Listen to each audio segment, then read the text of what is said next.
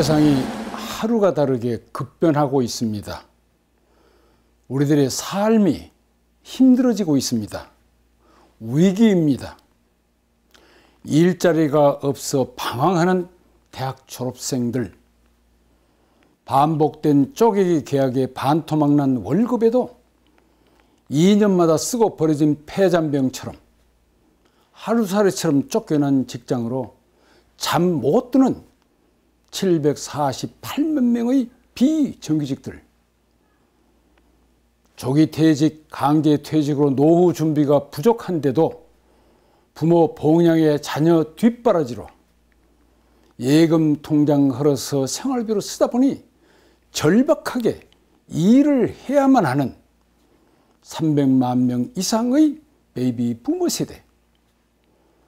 최저 임금 급 인상과 주 52시간제 근무제에 코로나 바이러스로 매출은 반토막 나고 어쩔 수 없이 종업원을 내보내고 힘들게 운영해도 적자가 쌓이고 부채가 늘어나서 또 권리금까지 날아가 버렸는데 과연 장사를 계속 해야 할지 말아야 할지 가슴 쥐어뜯는 545만 명의 자영업자들. 예전 같으면 잘 나가던 중소기업과 대기업들도 오늘 무너질지 내일 무너질지 가슴 조이며 하늘만 쳐다보고 이전 같으면 평소에 직장 일에 충실할 2030 MZ 세대들마저도 아파트가 폭등으로 벼락거지가 되어 춤을 추는 주식시장과 가상화폐에 돈을 빌려 투자해 보지만 날밤을 새워가며 직장 일에도 소홀하게 되니 이런 문제들을 해결하기 위해서 이리 뛰고 저리 뛰는 정치인과 관료들이 정책을 세워보지만 제대로 해결된 것은 눈에 잘 보이지 않고 있습니다. 왜 그럴까요? 무엇 때문에 그럴까요? 문명이 바뀌고 있기 때문입니다. 극적인 예를 하나 들겠습니다. 승객을 가득 태운 시내 버스에 인공위성의 로켓을 장착해가지고 갑자기 붕 하고 하늘로 쏴 올리면은 어떤 일이 벌어지겠습니까? 소리 지르고 토하고 쓰러지며 아우스라, 아수라장이 되겠죠.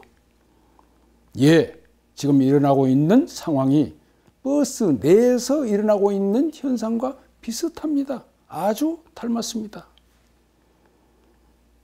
새로운 문명이 다가오고 있습니다. 새로운 문명은 4차 산업혁명이 아닙니다.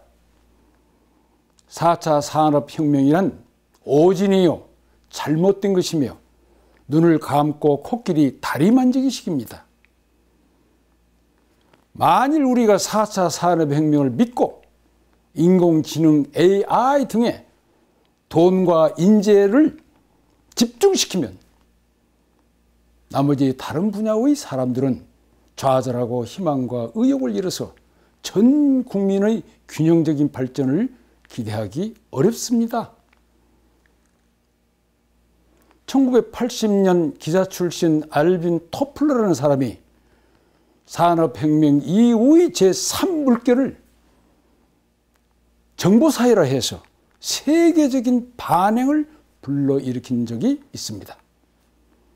그 바람이 얼마나 셌던지 일부 대학에서는 인문학과를 없애고 정보학과를 증설했다가 후에 학생들의 창의력과 인성이 떨어진다 해서 인문학과를 복원시킨 해프닝까지 있었습니다.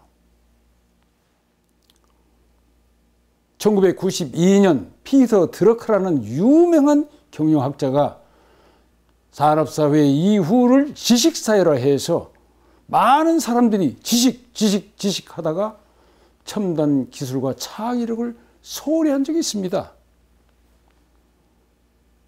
이들은 잘못 진단된 결과였습니다. 누가 책을 저술해서 유명해지거나 바람을 일으키면 지식인들은 냉철하게 점검해 봐야 합니다. 4차 산업혁명이란 책을 쓴 사람은 학자가 아닙니다. 스위스 다보스 포럼 회장인 슈바브라는 사람입니다. 선진국에서는 4차 산업혁명이란 어, 용어를 잘 사용하지 않고 있는데 우리나라에서는 유독 너도나도 많이 쓰고 있어서 저는 놀랬습니다. 산업혁명이 생로병사 한 차례 지나가면 됐지. 어떻게 산업혁명을 네 차례나 거듭할 수 있단 말입니까? 그런 일은 이 세상에 존재하지 않습니다. 방향을 잘못 잡으면 나라가 위험해집니다.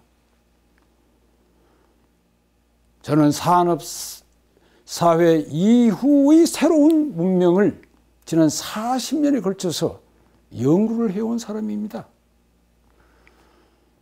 제가 찾아낸 새로운 문명은 ICT, NT, BT, AI 등의 첨단 기술과 창의력에 의해 70억 전 인류의 눈, 귀, 코, 혀, 몸 등 오감을 모두 연결. 하나의 세상, 하나의 사회, 하나의 국가나 유기체처럼 통합되는 한 몸 혁명에 의해서 기창주의 한 몸 사회가 놀라운 모습으로 다가오고 있습니다. 18년 정도 지났습니다.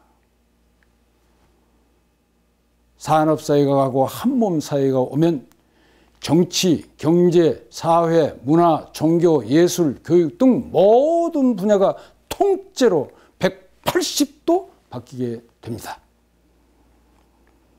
몇 가지 대표적인 사례를 들면 정치는 간접 민주로부터 직접 민주주의로 경제는 제조업 대량 생산 체제로부터 3D 프린트에 한 1인 제조업 시대로 기업 경영은 수직 경영에서 수평 경영으로 노사 관계는 단체 협약에서 개별 협약으로 에너지는 석탄, 석유, 원전으로부터 청정, 신재생 에너지로 교육은 회일적 주입식 교육으로부터 학생 각자의 적성에 따른 창의적 맞춤 교육으로. 실험 문제 해결은 1차적으로 국내 시장에서 2차적으로는 해외 시장으로 지구촌은 15시간부터 1시간 일일 생활권으로 바뀌게 됩니다. 이와 같은 대변했기에 이 천손태에서는 두 개의 세계사적 대변동이 예견됩니다. 하나는 자본주의 산업사의 말기 현상인 시장 쟁탈전에 의해 미국, 일본의 해양 세력과 중국, 러시아의 대륙 세력의 충돌, 이 천손토인 우리나라에서 일어날 수도 있다는 두려움입니다. 다른 하나는 새로운 한몸 시대에 부응하기 위하여 231개 국가가 연합 유엔을 세계 정부로 전환시키고 중앙 집권적인 그 세계 정부를 이 천손토로 유치하여 대한민국을 세계 중심국으로 만들 수도 있다는 희망찬 기대입니다. 이와 같은 대변했기에 우리 대한민국 한민족은 어디로 가야 되겠습니까? 무엇을 해야 하겠습니까? 4차 산업혁명이 아니라 새로운 문명 기창주의 한몸 사회를 창조하는 것입니다. 벤처 창업 밸리를 크게 조성하고 온 국민의 창의력을 북돋아 새로운 문명 기창주의 한몸 사회를 창조해야 합니다. 이 새로운 문명은 우리 한민족 천소적의 기질에 딱 들어맞습니다.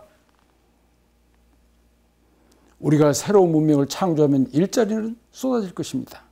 대한민국이 세계 중심으로 나갈 수 있는 지름길이기도 합니다. 이를 위해서는 신 바람 나는 기업 생태계를 만들어야 합니다. 창업, 창직, 붐을 일으켜야 합니다. 기술 강국을 만들어야 합니다. Yes, we can. 우리 한민족은 해낼 수 있습니다. 우리 모두 함께 꿈과 희망을 가지고 사회 변동에 대한 통찰력, 문제 해결 능력, 신바람나게 할 수 있는 능력으로 새로운 대한민국의 위대한 시대, 새로운 한민족의 위대한 시대, 새로운 문명 창조의 위대한 시대를 열어갑시다.